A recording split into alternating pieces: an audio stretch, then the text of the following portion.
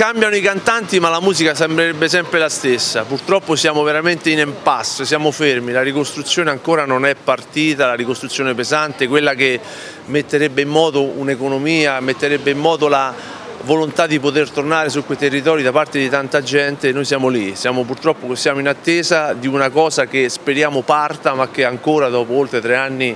trova mille difficoltà fra normative, burocrazie, leggi varie, siamo là. Purtroppo è veramente, ripeto, quasi tragicomica la situazione. Si rafforza ancora una volta il legame tra Arezzo e Norcia, zona duramente colpita dal terremoto. Tra i mercatini di Natale c'erano nello scorso weekend ancora una volta proprio i prodotti tipici arrivati da campi di Norcia, un modo non solo per conoscere altre prelibatezze, ma anche per aiutare i produttori di una zona falcidiata con Arezzo abbiamo veramente un legame particolarissimo perché eh, pensate poi ieri eh, sono passati subito a trovarci gli amici dei Vigili del Fuoco, sono le prime persone, i primi angeli, i primi ragazzi che abbiamo visto a Campi quel giorno fatidico del 30 ottobre, quella giornata veramente nefasta che per noi ci ha cambiato la vita. Le prime figure che sono venute ad aiutarci, le prime persone che sono arrivate a Campi sono stati gli angeli dei Vigili del Fuoco di Arezzo, dei ragazzi fantastici che ogni volta che ci vediamo è veramente,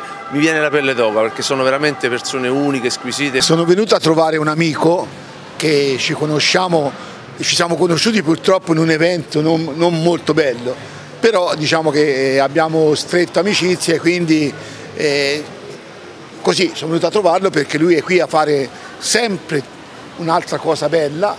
e che ne ha fatte tante e quindi per questo paese che è Campi di Norcia che è stato quasi completamente distrutto diciamo perché anche se è rimasto un piedi però praticamente diciamo che è rimasto in piedi ma pericolante.